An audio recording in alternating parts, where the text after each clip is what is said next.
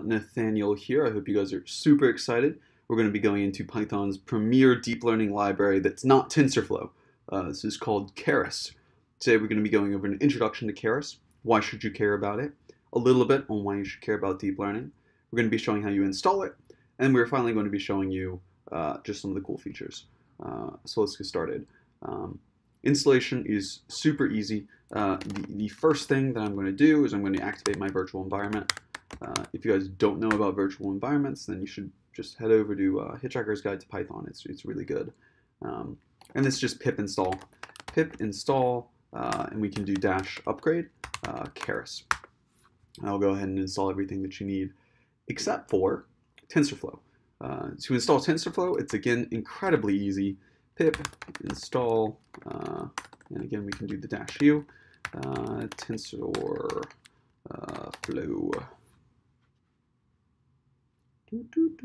And so this will install all of TensorFlow that you need. Uh, so in this case, it's just updating. Um, if you want to use uh, Theano, which I don't recommend, uh, you, you, can go ahead and do that. You'll need to install it separately. Uh, in fact, Keras has already uh, started up using TensorFlow. So that means when you start up Keras, it's going to automatically default to using TensorFlow. That being said, um, uh, I will show you in a later video on how you can switch all of that. Um, this looks like I'm just uh, updating to TensorFlow 1.1, I believe. Yeah, TensorFlow 1.1, which is really cool. Um, in TensorFlow 1.2, Keras is actually going to be part uh, of uh, the TensorFlow library. And in fact, uh, this, this, this is just going to be a super secret thing here. Uh, I believe import uh, TensorFlow as TF a little bit. tf dot con, uh, oh, let's let's quit out of here. So you never want to use Python. You always want to use IPython. This this is the important command. Uh, so import uh, TensorFlow as TF. Takes a little bit. TF dot contrib. Uh, yeah. Dot Keras.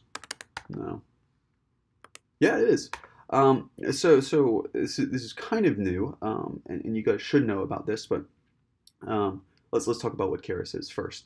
Uh, this is a cool discovery. I didn't know TensorFlow 1.1 was already released. Um, so Keras is a high-level wrapper, an, an, API in order to do deep learning. Um, if you guys don't know what deep learning is, uh, you should definitely check out my deep learning history. The link should be somewhere. Um, uh, and, and that should give you a good intuition as to what it is and why it's important. Um, literally, all of the important translation applications, all of the important vision applications, a ton of the important uh, video and audio processing applications, they all use deep learning these days. Uh, deep learning is the new uh, internet in, in, a way. It's, it's incredibly important. Uh, so if you don't know a ton about that, you should definitely learn. And if you know some about it and you want to get started, uh, Keras is the way to do that.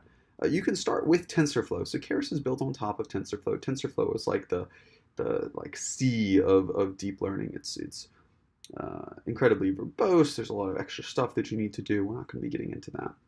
Instead, we're going to be doing using Keras, which is a high-level wrapper, an API on top. In fact, it became so popular, uh, Google decided to uh, take it and, and, you know, quote unquote, acquire it, add it into TensorFlow itself. Uh, TensorFlow is owned by Google, so this is why we see this in TensorFlow itself. So tf.contrib.keras. Um, so in the future, uh, it's going to be tf.keras, um, but that's going to be in 1.2. Okay. Um, uh, ooh, quit, leave, leave, leave us. Okay, so uh, let, us get started then. So we've we've discussed a little bit about what uh, Keras is, uh, why it's important in the realm of deep learning. It's, it's the premier high-level API in Python for deep learning. If you want to do deep learning uh, in Python, use Keras. Um, and we talked a little bit about how to install it and what, what future plans are it. Um, so let's let's just give it a go. Um, so Keras has some you know guiding principles. User friendliness, it's super user friendly. If you've used TensorFlow before, it's a beast. Uh, like you gotta gotta whip it into shape. You know, gotta go Call of the Wild on it. Um, it's modular is Keras. Uh, modular is pretty good. Uh, I will show you this especially in the, um, uh, the functional API. You can really plug and play, mix and match different pieces to make really expressive uh, pieces of code that are very small. Um, super easily extensible, and I will show you this in uh, later on when we're uh, plugging it into scikit-learn. And if you haven't heard of scikit-learn, uh, again, there should be a, a link somewhere. Uh, click it. it uh, I've done a huge tutorial series on it. It's amazing and exciting and woohoo. Um, and then finally, it works with Python. You know, it only works with Python. Um, so Keras is great. Uh, you can do your research. There's a ton of other libraries. It's like tflearn, um, Lasagne used to be part of it, PyLearn, ton, tons of stuff. Keras is the one you want to use. Um, so we'll go ahead and we'll do some machine learning. Uh, so how is machine learning done? So in Keras, you need to make a model. Um, for any machine learning, and we'll talk about this a little bit later on, I'll do a, do a basic class in data science and machine learning. You need data, so we get some data. Our data is of shape 404, 404 examples, and 13 dimensional data. You can use any dimension you want in Keras. You construct your model, so we, we give it a couple of layers. I'll talk about this a little bit later on. You compile your model.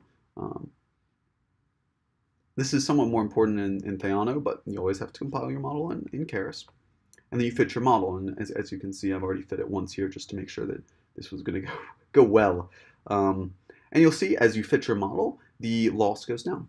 Uh, so that means you're better able to predict what's what's going to be able to happen. Um, you can super easily check this. We can go ahead and evaluate on the test um, and print out the loss and the metrics. So pretty good, pretty good. Uh, in addition to this, you can always go ahead and use your model to make predictions in the future. This is just kind of like the, the full deal. You have some training data, you make a model, you uh, train your model, you fit your model, uh, you see if your model works, and then finally, if it works well, you, you push it in production, um, and you can use model.predict in order to do this.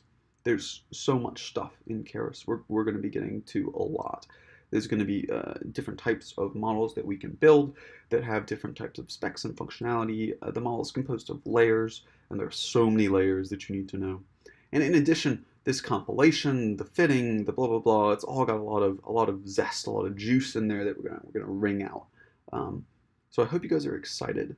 Uh, and tune in for the next episode as we're going to be talking about data sets uh, that we're going to be using a little bit, if not extensively, with Keras.